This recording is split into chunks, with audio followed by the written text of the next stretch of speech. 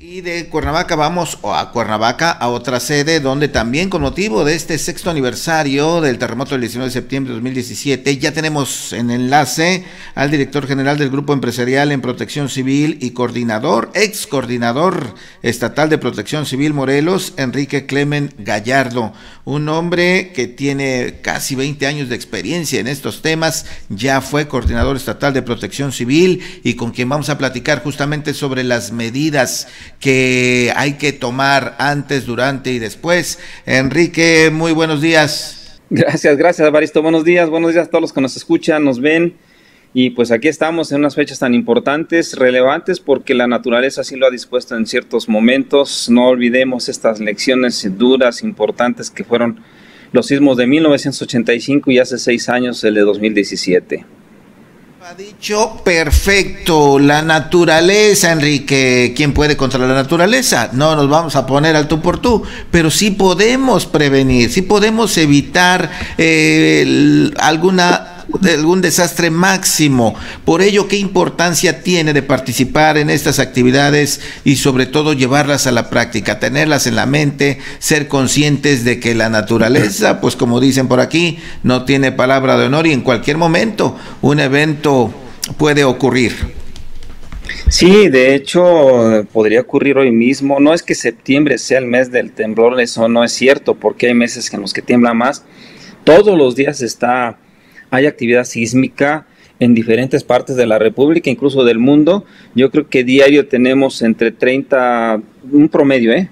pueden ser 20, 30, 40 sismos diarios. Algunos son totalmente imperceptibles, otros son muy, de muy baja intensidad, pero eh, todos los días está temblando, entonces no, no le echamos la culpa al mes de, de septiembre. Ha coincidido desafortunadamente y en el mismo día pero no es que tenga que temblar en el mes de septiembre, lo digo para quitar esos eh, mitos que tenemos a veces en la cabeza y lo, todos los que nos escuchan nos evitemos esa parte, no, no, no existe esa, ni siquiera se puede predecir cuándo pudiera haber un sismo y de qué, de qué magnitud, en qué punto exactamente, porque si así fuera, pues, pues estaríamos todos bien preparadísimos que ahí vamos a platicar muchísimo de hacer conciencia. Yo creo que una de las cosas más difíciles en la protección civil, alguien me lo preguntó alguna vez, eh, que era lo más difícil que me había encontrado en la protección civil, bueno, lo más difícil es hacer conciencia.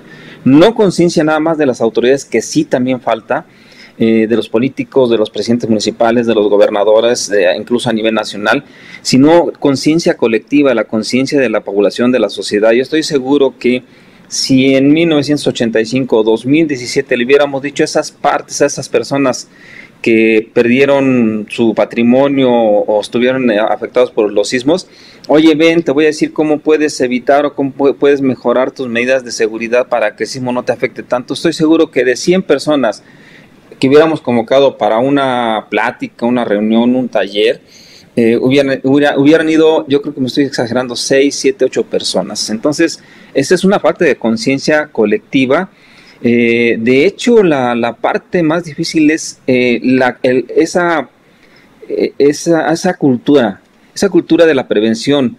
No hacemos medidas preventivas hasta que ya lo vivimos. Ni siquiera cuando se acerca a, nosotros el, el, efecto de alguna situación difícil, alguna contingencia, ni siquiera en ese momento hacemos tanta conciencia. Lo hacemos y ustedes se darán cuenta que el primer día, el segundo día, todo el mundo habla de medidas preventivas, todo el mundo habla de, del, evento, del sismo, de la inundación, etcétera. Y van pasando los días, se va diluyendo y volvemos a caer en los mismos, en los mismos errores en los que estábamos o, o las mismas prácticas, malas prácticas, muchas veces que hacemos como ciudadanos. Y lo digo como ciudadanos aún cuando estaba en la coordinación, siempre hablé como ciudadano y dije, como ciudadanos debemos de tomar la responsabilidad nosotros de nuestra propia seguridad. ¿Por qué dejársela a otras gentes, en este caso, por qué dejársela a las autoridades nada más, cuando nosotros podemos tomar la seguridad de, nuestras, de nuestro entorno, de nuestra familia? Somos responsables de la seguridad de nuestra familia, quienes ya somos mayores, quienes tenemos una familia. Y eso requiere hacer un análisis de qué hay, qué riesgos tenemos en el entorno si vivo cerca de una barranca, pues voy a prepararme antes de que llegue la temporada de lluvias, hacer limpiezas, hacer rebordeamientos, hacer, no sé, alguna barda, algún, algo, algo que pueda eh, protegerme en caso de alguna, alguna inundación. No porque no haya, eh, no se haya inundado última, o porque se haya inundado el año pasado, hace cinco años, no. Hay lugares en los que a mí me tocó vivirlo en carne propia en una ocasión por el sur, eh, en la primera etapa en la que estuve, yo creo que fue por ahí del 2009, eh, hubo, unas inundaciones tremendas en la parte sur, lo que es Puente de Isla, Macusac, eh, sobre todo esos dos municipios. Y recuerdo que andábamos haciendo el levantamiento de información y vimos una señora que estaba precisamente en una piedra llorando y viendo hacia una parte, estaba una vivienda. Y pues pasamos, le preguntamos, señora, ¿le podemos ayudar en algo? ¿Qué, qué, qué tiene? Es que mi casa, ¿qué tiene su casa? Pues es que se inundó. Y sí, había habido inundaciones hasta de un, casi dos metros de, de altura y su casa fue una de las más afectadas. Pues volteamos a ver, ¿cuál es su casa? No, pues esa, estaba en una hondanada, no era tan profunda la hondanada, pero era un cauce que el agua reconoce, el agua no es que tenga memoria, pero a final de cuentas toma los mismos eh, lugares para poder correr, que no sabían dónde nos decía la señora, es que yo tengo 30 años aquí y nunca había, nunca había pasado nada, pero después de 30 años, imagínense, vino la inundación. Entonces son periodos de retorno que sí van a afectarnos en algún momento. Interesante todo esto, eh, Enrique, porque hay otros países donde admiramos su cultura, su preparación, concretamente el Japón, ¿no? Y nosotros no podemos. ¿Cuáles, cuáles serían las razones? Tenemos ya de por sí esa idiosincrasia, no algo nos falta que nos motive. ¿De dónde vendrá esa falta de conciencia personal que podamos extenderla a la colectividad? Yo creo que viene de todas partes. Eh, sí, es una parte de la idiosincrasia del mexicano. Otra parte de la falta de conciencia absoluta de las autoridades de ponerle atención a este tipo de rubros. Hemos dado eh, grandes pasos, sí ha mejorado muchísimo la protección civil, no estamos en pañales, eh, estamos entre los mejores países con este tipo de, me, refiero a nivel nacional, por, por lo menos en la etapa que me ha tocado vivir, las leyes, las normas, tenemos un Centro Nacional de Prevención de Desastres, hay instituto de, eh, de de geología, por ejemplo, donde hacen seguimiento al volcán, a, los volcanes, en este caso el Popocatépetl. la Conagua hace mucho seguimiento a las zonas inundables, lo que es el Senapreda, otro tipo de, eventos. Entonces sí tenemos em, todo ese tipo de, elementos, de herramientas, pero no las, no las utilizamos adecuadamente o no las utilizamos en favor de la población muchas veces como autoridades. Por la otra, la parte de la, de la población, eh, generalmente hay muchísima información y generalmente hay eh, un bombardeo de, cursos, de talleres, de pláticas, de, de, temas que se dan. Por ejemplo, el SENAPRE seguido tiene pláticas, hay que entrar ahí eh, la coordinación estatal cada ocho días, los miércoles, tiene pláticas de, protección civil, de prevención. Algunos son temas para un poquito más técnicos para quienes se dedican a esto, pero otros son temas abiertos para la población. Ahorita va a haber, perdón, hay una semana estatal de protección civil. Entren a la página de la Coordinación Estatal de Protección Civil y verán que hay muchísima información que nos puede servir para evitar precisamente el impacto de alguna de algún peligro o amenaza que tengamos en el entorno, sobre todo en el entorno donde vivimos, hay muchísima información, pero lo más importante y lo más elemental es hagamos conciencia que los peligros están ahí, no se van a ir, nadie los va a resolver si no lo resolvemos nosotros.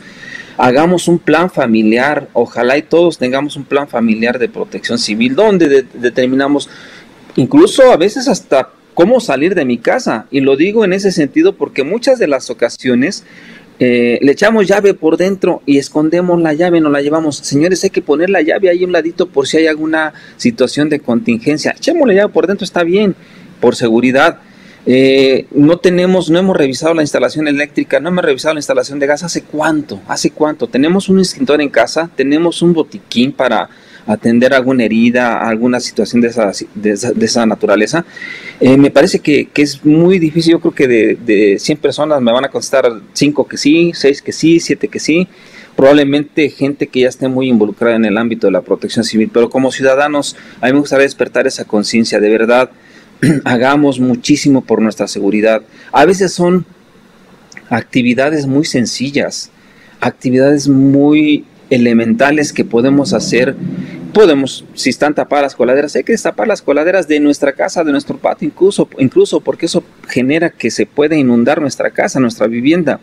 Los canalitos, si eh, tenemos, eh, eh, por ejemplo, ahí tenemos libreros, tenemos cosas colgantes que se pueden caer en caso de un sismo, sujetémoslas, sujetemos los libreros, evitemos poner tantas cosas arriba porque eso es lo primero que lastima a las personas cuando hay una evacuación, cuando hay un sismo y tengamos que hacer la evacuación, es lo primero que lastima. Sepamos hacia dónde vamos a caminar, no correr, no empujar, no gritar, hacia dónde vamos a caminar dentro de nuestra propia vivienda o en nuestro centro de trabajo, porque muchas veces pues estamos acostumbrados a que los brigadistas hacen todos los, los temas eh, o, las actividades en términos de protección civil, de prevención, y yo como trabajador pues espero a que el Señor me diga qué tengo que hacer cuando puedo prevenir, puedo saber dónde está mi ruta de evacuación, dónde está mi punto de reunión, hacia dónde me tengo que dirigir, en qué momento. Todo esto es cultura y todo esto, tanto en el ámbito laboral como en nuestra propia, en, nuestro entorno donde vivamos, donde trabajemos, tenemos que hacerlo. Hablaba yo de plan familiar de protección civil, hay que echarlo a andar en casa. Eh, cuánta cosa, qué interesante, cuánto hay que aprender todavía, Enrique. Así es que vamos paso a paso. Ya no nos esperemos a que haya una semana de protección civil para repasar todos estos puntos. La recomendación, estoy escuchando, pues es diseñar el plan y estarlo revisando de continuo, tal como ha dicho en casa, por dónde voy a salir, cuáles son las zonas más seguras, dónde podemos vernos en caso, pues, de sismo, en caso de incendio, en caso de inundación, fenómenos que están presentes todo el tiempo y que en cualquier momento pudieran ocurrir. Ahora, por otra parte, también ha dicho que sí hemos avanzado, no estamos en pañales en protección civil y ya en Morelos tenemos alertas sísmicas. Eh, se les está dando mantenimiento, han demostrado su eficacia. ¿Cómo las ve después de un tiempito que se instalaron? Mira, este sistema de alertamiento sísmico es el mismo sistema de alertamiento sísmico que se utiliza en el Distrito Federal en la Ciudad de México es el mismo sistema de alertamiento sísmico que se utiliza en otras, que son las principales, eh, los principales estados que tienen eh, el sistema, es Puebla, Oaxaca, Michoacán y en este caso el estado de Morelos, aparte del Distrito Federal. Este sistema es eh, prácticamente el sistema oficial, el CELSASMEX. Y toda la tecnología asociada a este sistema es precisamente la que está instalada aquí en el estado de Morelos. Me tocó hace dos años precisamente la instalación de este sistema y eh, tenemos ahorita dos antenas, no solamente una, se iba a instalar una, pero eh, solicitamos que fueran las dos para evitar que si una falla, entonces entra la otra en operación. Las dos están operando.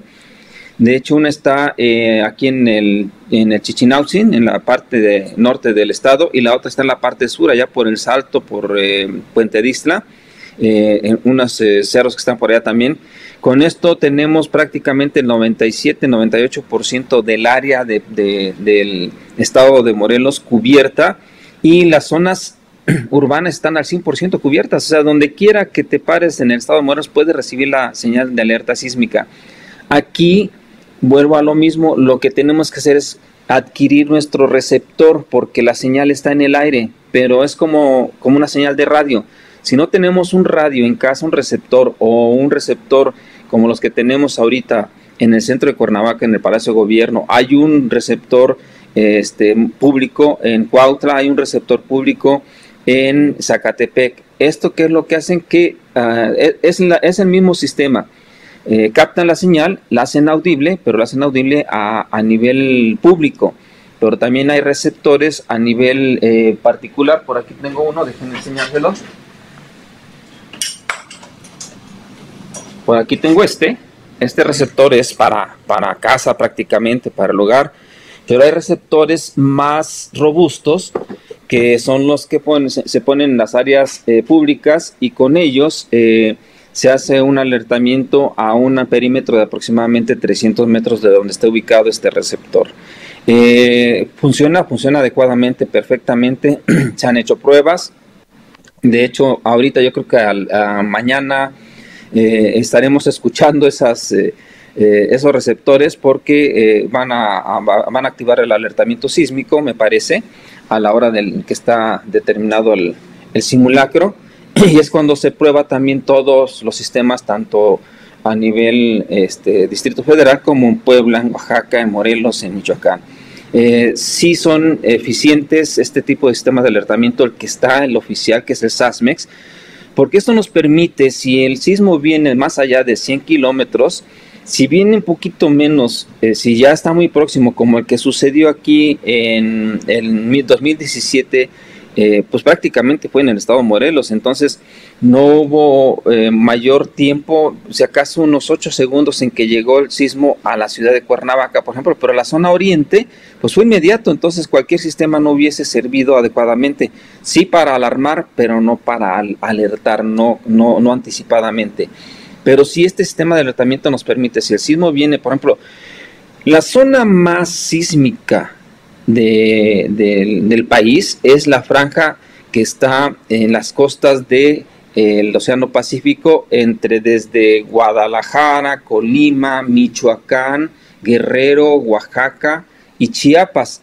Si estamos escuchando que a cada rato eh, hay sismos, es precisamente en, las, en estas zonas sobre todo en la zona más eh, donde más hay sismos es eh, Guerrero y Oaxaca. En esos límites es donde se dan más la mayor cantidad de sismos. Entonces estos están aproximadamente eh, al menos a 300 kilómetros. Esto nos permite tener un tiempo, en el caso de Morelos, de aproximadamente 60 a 70 segundos. Pudiera, hay más tiempo, pero cuando entra la señal, la, cuando se capta la señal del sismo, porque no adivina este sistema, lo que hace es captar que ya se está dando un sismo en las costas, transmite, transmite esta señal a un em, sistema de cómputo y mediante una discriminación determina si es eh, con una magnitud suficiente para poder causar daño al Estado de Morelos o a la Ciudad de México, eh, se activa el sistema de alertamiento. Si no es eh, con una intensidad eh, que pueda causar algún daño, entonces no se activa. Así podemos tener sismos de 4, de 5, probablemente en, en, este, en Guerrero, en Oaxaca, hemos tenido en Oaxaca sismos de 6 y no tiene por qué alertarse en el estado de, de Morelos, dependiendo si va a impactar y si va a generar activar este sistema de alertamiento. Entonces, de que sí sirve, sí sirve, nos puede dar hasta 50, 60, 70 segundos, dependiendo dónde se dé el sismo. Lo mínimo que yo este, he visto son los 50 segundos que tenemos eh, para poder hacer una evacuación. Suficiente tiempo para evacuar incluso un edificio hasta de 3, 4 pisos. Suficiente tiempo. Qué interesante si atendemos eh, la alerta sísmica y nos aprendemos lo que hay que hacer cuando esto ocurra, yo creo que disminuiremos sensiblemente todos los daños. Así es que qué importante, Enrique, estas recomendaciones, recordar todos estos temas, más en esta temporada. Y ya lo dijo hace rato, hay quienes cruzan apuestas que sí va a temblar el 19, es algo increíble, es parte de la idiosincrasia del mexicano, pero como ya lo dijo, o sea, de que va a temblar, va a temblar porque siempre está temblando, aunque no en la magnitud que pueda ocasionar daños severos. Un tema siempre presente este, en general de la protección civil, en particular el de saber qué hacer ante los sismos. Por lo tanto, agradecemos sus apuntes, sus comentarios y como decíamos hace rato, mucho que aprender todavía. Hay que seguir en esa línea, hay que seguir insistiendo y que cada quien piense, cada quien piense, que haga conciencia que eh, puede hacer ante una eventualidad como esta que podría incluso costarle la vida a uno mismo o a un ser querido. Por lo tanto, muchas gracias por los apuntes apuntes. Enrique, ¿algún comentario final? Sí, nada más prepararnos, depende de nosotros, hay que reforzar nuestras viviendas, hay que verificar si realmente está construida de manera adecuada, ese es el primer paso. Segundo, saber qué hacer, tener nuestras rutas de evacuación ahí dentro de nuestra propia casa, porque a veces no sabemos si caminar hacia el jardín, hacia la calle.